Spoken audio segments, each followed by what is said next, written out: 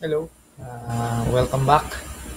So, uh, this tutorial po ay uh, tuturuan ko po kayo kung paano po uh, ma-access ang ating official uh, Gendesus email address.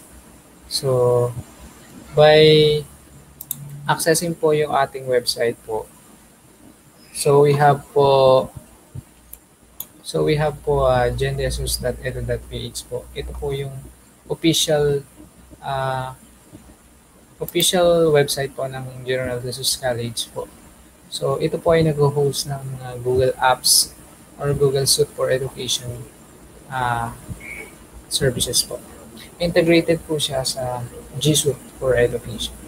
So meron po tayong uh, uh, mga paraan pa paano po ma-access ang inyong mga email services po or email account po sa ating gendesus.edu.ph account po. So ngayon po, uh, uh, gamit po ang ating uh, different uh, email uh, subdomain po.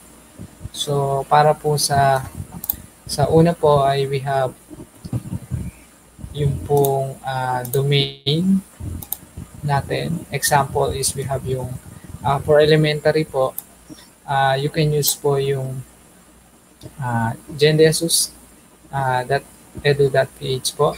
So we have here the mymail.lm.gendesus.edu.ph po. So you can access po directly using this uh, subdomain po uh, for your elementary uh, email address po. Uh, uh, this will uh, display po uh, originally or yung uh, direct without typing po yung at lm.gendesus.edu.ph. You can also use po yung uh, gmail.com native. You can go to google.com or gmail.org or .com para po ma-access. Pero in this case po, pwede niyo po siyang uh, i-save or i-bookmark yung uh, login registration link po na ito. Bakit po uh, may subdomain na ganito? Para po, uh, kapag po nag-type tayo sa ating subdomain, uh, hindi na po nyo itatype yung ating pong uh, at uh, lm.gendesus.edu.ph po. Uh, another one po, uh, so we have here for high school and junior, we have the i that gendesus.edu.ph, same as the COL.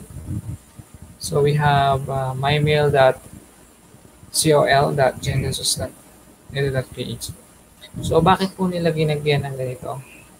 So, para po ma-group natin yung mga users natin or student natin, uh, we created po yung subdomain para po maka uh, ma-identify ni ni admin po kung elementary or high school or college po yung ating estudyante. Ayan po. Uh, para po uh, ma-explore natin kung paano siya directly, ipapakita ko po sa inyo kung paano ang ating bird access. So, wait lang po. I'll just share my screen po uh, using uh, new browse. So, this one po, I will share po yung Chrome tab natin. New tab. Then this one po is uh, my uh, Google search engine po. Ang gagawin niyo lang po ay i-type dito ang my mail dot, for example, lm.gendesus Although, wag po kayong malilito kasi pwede rin po siyang gamitin uh, yung gmail.com. Same lang din po yung login natin.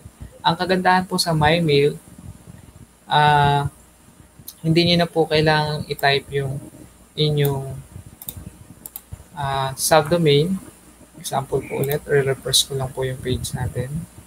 Hindi niyo na po kailangang i-type yung at lm.gendersource.edu.ph po. All you have to do po is to type po yung ating username.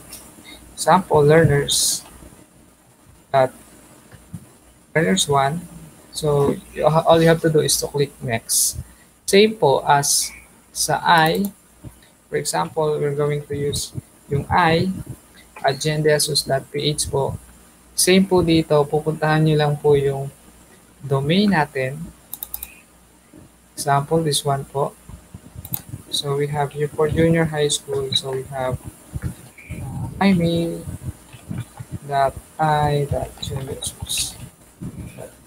juniorsus page then enter. Then po wait lang po natin maglo-load yung ating uh, let in page po para po sa ating G Suite account po.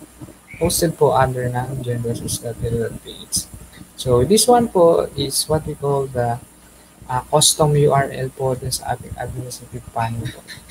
Although ma'am sir pwede naman po siya uh, i-access under ng gmail.com directly po. Pwede naman po yun. Ang kaibahan lang po dito, uh, hindi nyo na po itatype yung uh, ating uh, website URL or yung ating email address na ito.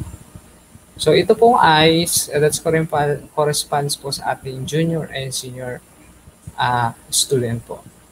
Yung LM po, that correspond po, ang sinasabi natin ay doon sa ating uh, elementary students and for COL is for college student po.